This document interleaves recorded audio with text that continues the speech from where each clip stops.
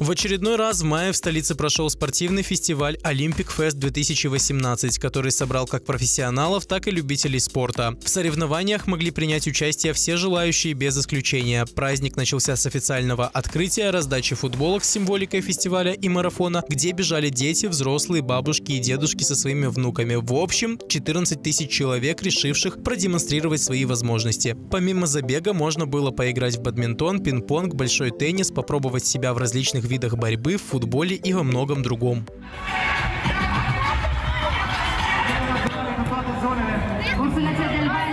Уже хорошая традиция.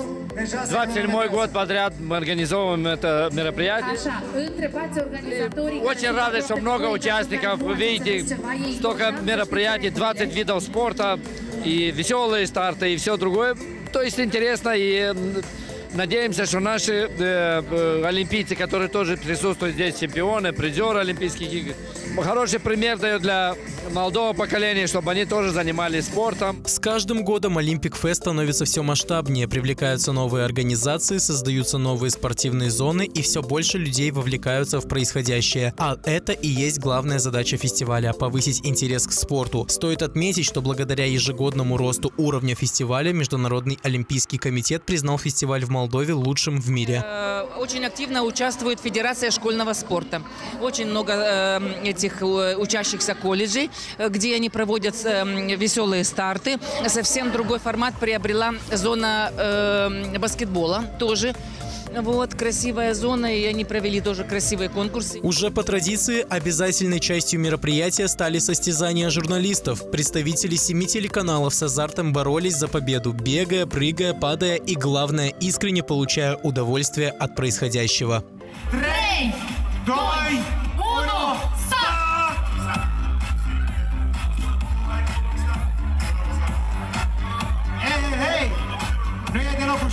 Два года подряд команда телеканала СТС завоевывала золото, так что настрой был боевым. В этом году мы вновь отличились сплоченностью команды и стремлением к победе. Завершился очередной Олимпик Фест, э, в котором мы участвовали. Еще раз доказали, что мы сплоченная команда. Было весело, задорно. Были сложные довольно этапы и испытания, но мы справились. Поэтому довольны результатом. Хотя, конечно же, можно было еще лучше. Ну, лучше было во все предыдущие годы, так что в этом году мы золото уступили, но от этого эмоций не меньше, и настроение все равно отличное, потому что это было здорово и задорно. А самое главное, это наше название команды, Саша.